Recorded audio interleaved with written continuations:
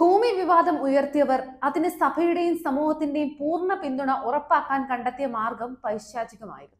ക്രിസ്തുവിനെ കുറിച്ച് നേരിയ കേട്ടുള്ളവർ റിപ്പീറ്റ് ക്രിസ്തുവിനെ കുറിച്ച് നേരിയ കേട്ടറിവുള്ളവർ പോലും ചെയ്യാൻ മടിക്കുന്ന കാര്യങ്ങളായിരുന്നു ഏതാനും വൈദികരുടെ നേതൃത്വത്തിൽ രൂപം കൊണ്ടത്.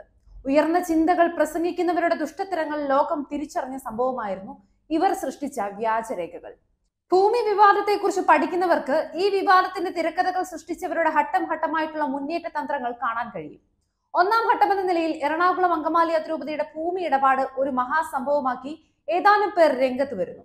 അടിസ്ഥാനരഹിതമായ ആരോപണങ്ങൾ ഉയർത്തി മാർ ആലഞ്ചേരി അതിരൂപതയുടെ സ്വത്ത് വിറ്റു തുലച്ചു എന്ന് പ്രചരിപ്പിച്ച് വിഷയം സഭയിലും സമൂഹത്തിലും ചർച്ച ചെയ്ത് ആർച്ച് ബിഷപ്പിനെതിരെ പൊതുവികാരം സൃഷ്ടിക്കുന്നു. തുടർന്ന് ആരോപണ വിധേയർ തന്നെ അന്വേഷണ കമ്മീഷൻ എന്ന റോളിൽ രംഗത്ത് വരുന്നു. നിയുക്തനായിരിക്കുന്ന വിഷയത്തിൽ അന്വേഷിക്കേണ്ട യഥാർത്ഥ ക്രമക്കേടുകളെല്ലാം അന്വേഷിക്കാതെ മുൻവിധിയോടെ ചില രേഖകൾ മാത്രം നോക്കി അന്വേഷണ കമ്മീഷൻ റിപ്പോർട്ട് പടച്ചുണ്ടാക്കി മാധ്യമങ്ങൾക്ക് സമർപ്പിച്ച് ആരോപണങ്ങളെല്ലാം ശരിയായിരുന്നു എന്ന് വരുത്തി തീർക്കുന്നു. ഇതിന്റെ രണ്ടാം ഘട്ടം എന്ന നിലയിൽ ക്രിമിനൽ കേസുകൾ കൊടുത്ത് സഭാതലവനെ അപമാനിക്കുക എന്ന ലക്ഷ്യത്തോടെ കോടതി പോലീസ് കേസുകളുമായി ബിനാമികൾ രംഗത്ത് വരുന്നു. കൂട്ടായ ചർച്ചകളും തീരുമാനങ്ങളുമായി സഭയുടെ ഉത്തരവാദിത്തപ്പെട്ടവർ ഒരു സംഘമായി ഒരുമിച്ചിരുന്ന് എടുത്ത വിഷയത്തിന്റെ പേരിൽ കേസുകളുടെ പരമ്പരകൾ സൃഷ്ടിക്കപ്പെടുന്നു.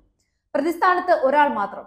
സീറോ മലബാർ സഭയുടെ തലവൻ കർദിനാൾ ജോർജ് ആലഞ്ചേരി. എല്ലാ ദിവസവും വാർത്തകൾ മാധ്യമങ്ങളിൽ നിറഞ്ഞു നിൽക്കുന്നു. പോലീസ് കോടതി വ്യവഹാരങ്ങളിൽ ആരോപണങ്ങളുടെ പ്രവാഹം സൃഷ്ടിക്കുന്നു. മാർ ആലഞ്ചേരി ഉന്നത സ്ഥാനത്തിരുന്ന് വിശ്വാസവഞ്ചനയും സാമ്പത്തിക തിരിമറിക്കായി ഗൂഢാലോചനയും നടത്തിയെന്ന് മാധ്യമങ്ങൾ വിധിയെഴുതുന്നു.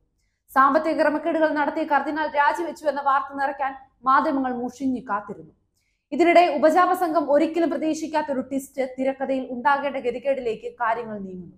നിങ്ങൾ പറയും പോലെ അഴിമതി നടത്തിയെങ്കിൽ ആ പണം പിതാവ് എന്ത് ചെയ്തു എന്ന സാധാരണ വൈദികരുടെയും വിശ്വാസികളുടെയും ചോദ്യങ്ങൾ അപ്രതീക്ഷിതമായി ഈ ഘട്ടത്തിൽ ഉയരുന്നു.